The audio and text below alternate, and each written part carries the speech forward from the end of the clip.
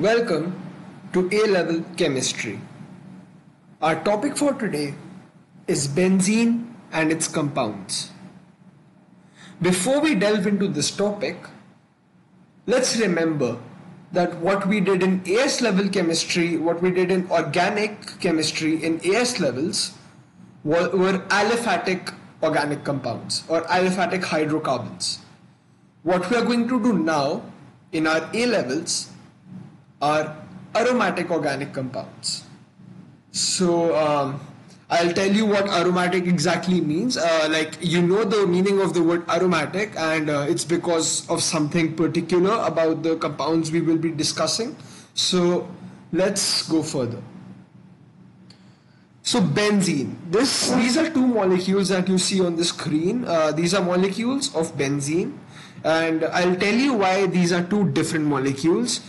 So as you can see, we have three carbon-carbon double bonds in the benzene molecule, one, two, and three, and we have three carbon-carbon single bonds, one, two, and three.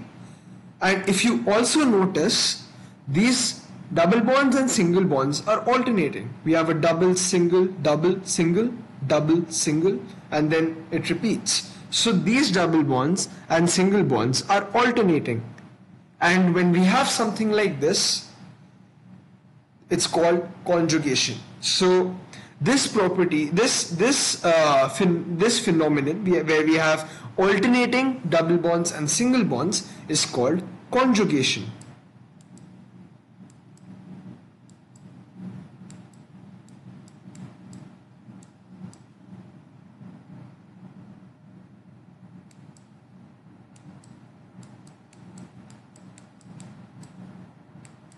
So when we have alternating double bonds and single bonds, it's called conjugation as you can see over here. So due to this conjugation, we have something called resonance structures.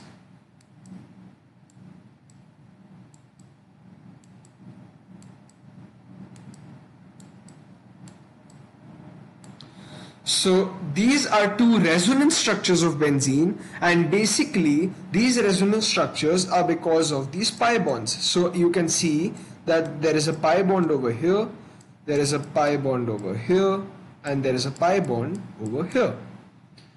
And as you can see this these pi bonds have shifted their positions. So now we have a pi bond over here, we have a pi bond over here and we have a pi bond over here. So as you can see in these two molecules these pi uh, these pi bonds are in different positions. So these are my two resonance structures. These pi bonds keep moving. So if I look at both these molecules together and I number these bonds 1 2 3 4 5 and 6 if I number these molecules from 1 to these bonds from 1 to 6 I and I look at these two molecules together then I know that at any point of time there can be a pi bond on uh, there can be a pi bond at 1 there can be a pi bond at 2 there can be a pi bond at 3 there can be a pi bond at 4 there can be a pi bond at 5 there can be a pi bond at 6 and there will be three pi uh, three uh, carbon carbon double bonds and um, they, they will be alternating with the single bonds. So you can see these two resonance structures and you can see that the pi bonds have switched their positions and if we look at these two structures together, these pi bonds can be anywhere at any of these six places.